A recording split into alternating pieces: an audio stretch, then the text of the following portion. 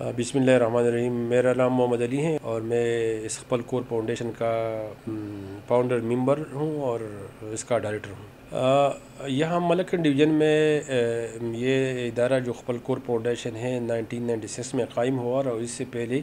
یہ ملکن ڈویژن میں بہت زیادہ اجرتی قاتل تھے۔ اس کے بارے میں تھوڑا سروے ہوئی تھی اور پتہ لگ گیا تھا کہ یہ جو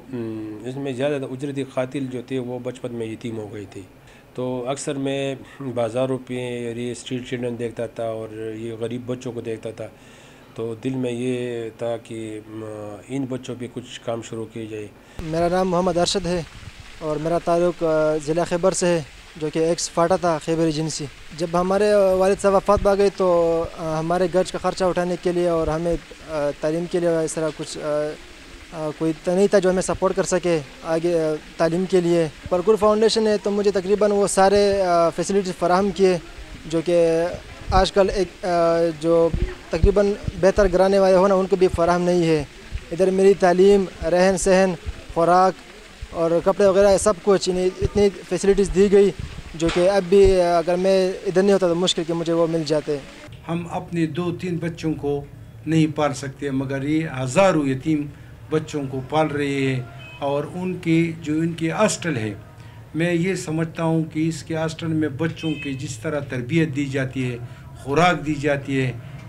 اے سے لے کر زٹ تک ان کو جو سہولیات مل رہی ہے میرے خیال میں کسی ایک بھی پلائی ادارے میں اس طرح کام نہیں ہو رہا ہے۔ My name is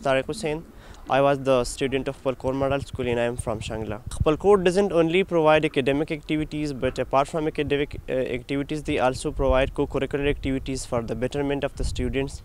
They actually brush off the students for in order they should cope uh, uh, with the problems in future. جو فلاحی کام ہوتے ہیں اس میں پلنتراپسٹ جو مالدار لوگ ہیں ان کے بغیر نہیں ہوتے کیونکہ